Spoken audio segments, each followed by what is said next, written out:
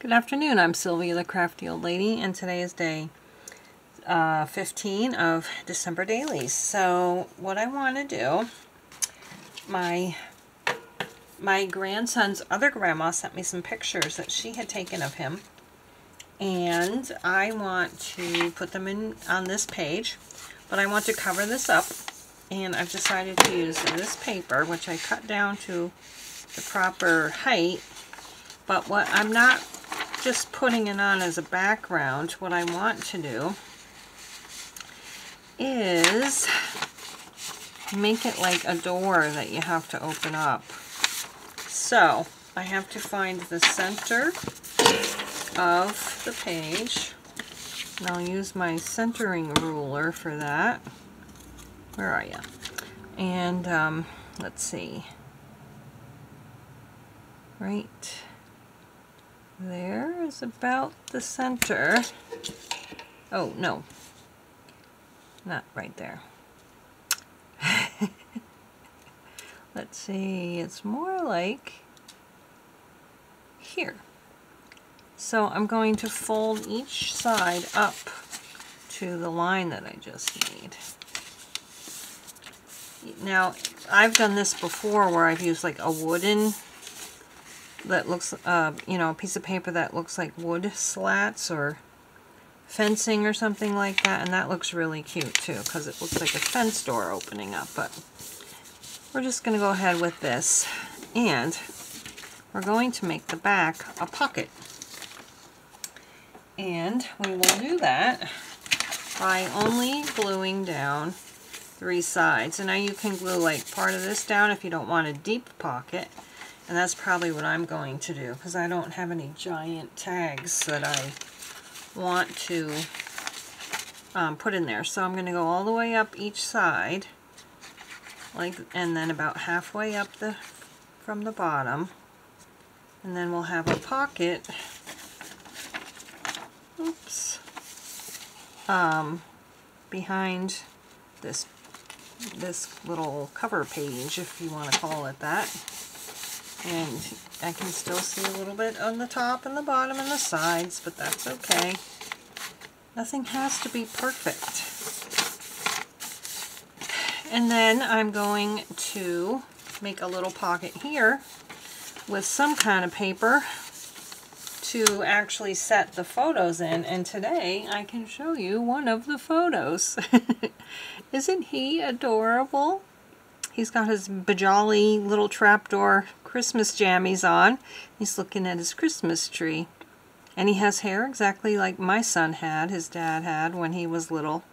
Back then, the, the uh, style was like a little tail, like a little rat tail coming down, and he's starting to get one. But I don't think my daughter-in-law wants him to keep it. it's not quite the style anymore. But uh, he's so sweet. Oh, gosh, he's so sweet. Anyway, okay. I'm going to put a little pocket down on the bottom and then maybe we'll put something here to keep it closed and then it can be a little surprise when you open it up. Yes, I think we will do that. So I've got some leftovers from this set and I really think the um, Christmas lights would be a good one for this, but I'm going to reinforce it with some cardstock. Alright, so I have my little pocket reinforced and I inked it in green and I think that looks so pretty edged in green and I really regret not doing that to this page. I think that's my biggest regret of the whole junk journal so far anyway. Hopefully it will be my only regret. And then we're going to put that like that. Actually, I forgot I wanted to also cover this up with maybe, maybe this. Actually, I think that looks cute, and I think I will do that. Alright, so we have the background, and now we're going to put these, this little pocket on there with some Fabri-Tac. And then we can um, make our closure. I think this is going to be cute.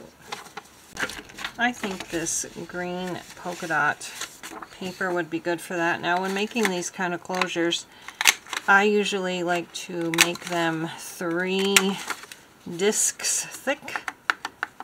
just to make sure they're nice and sturdy because they will be holding string together and um, um, the brads inside. And so that's what I'm going to do now is glue my little pieces together. And I like to also have them double-sided eh, just in case you can see the underside for some reason. I doubt that would happen, but you never know. So there's my first one. And then I gotta get my brads out and see what I got. Some cute little button ones would be nice. But I also have some silver ones, I think, or like a bronzy color. Or the little teeny mini ones that I've got. We'll see. Let's see what we're going to do. Well, I found two little green button brads, so that's what I'm going to be using. And I find it literally impossible to figure out where the middle of a circle is. If there is some formula or trick to it, let me know because I can't do it. I'm going to just eyeball it and go through all six layers, if I can, so that at least both circles have the hole in the same general vicinity. There we go.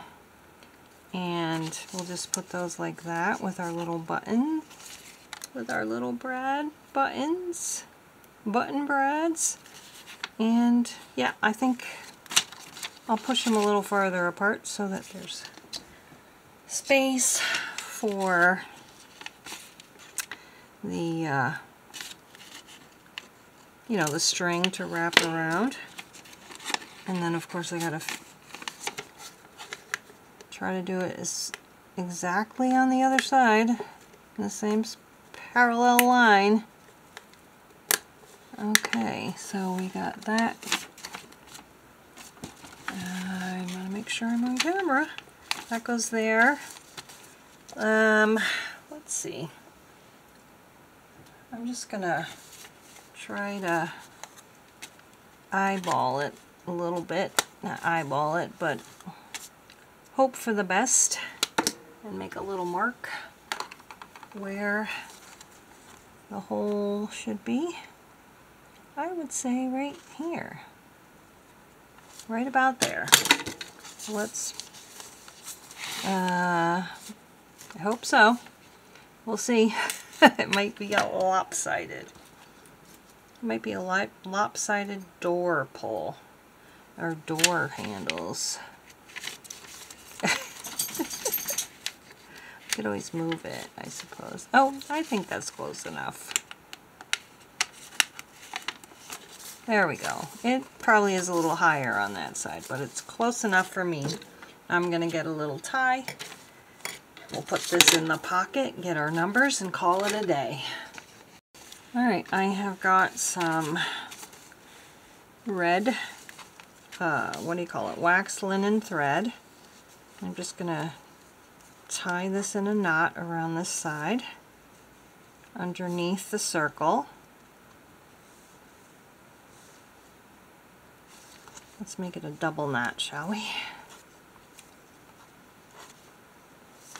Okay. And then we'll just take it over here and wrap it around this one. And you can, um, sometimes they go back and forth. I didn't like this and then like this. Mine's not long enough to do that, so I'm just going to do that. And it's closed. We just got to remember which way to un unwrap it. We'll put pictures of my grandson admiring his Christmas tree in. That's pretty snug, but it works. And that's it. I will now get my numbers. So I'm going to cut the 7 down and we'll have, have a number 15. How are you all doing today? Uh, doing well, I hope. So there we go, 15 again, with a weird little one. Put it on the bottom. I don't know why. I usually like them on the bottom better. Okay, I hope you're all doing well. Hope you're happy, healthy, and safe. And let's just open up. I don't remember which way I did it. Open up our little door and see my cute little grandson in his pocket.